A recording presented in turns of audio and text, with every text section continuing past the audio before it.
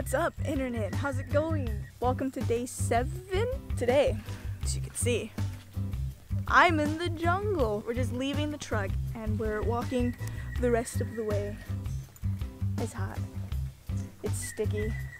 There's a lot of bugs. Here we go.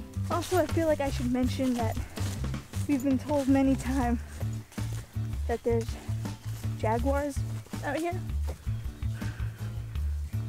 Not gonna lie, every little thing that like moves or runs through the trees scares me a little. Literally in the jungle, I almost tripped. I like doing things like this, but I'm terrified of everything.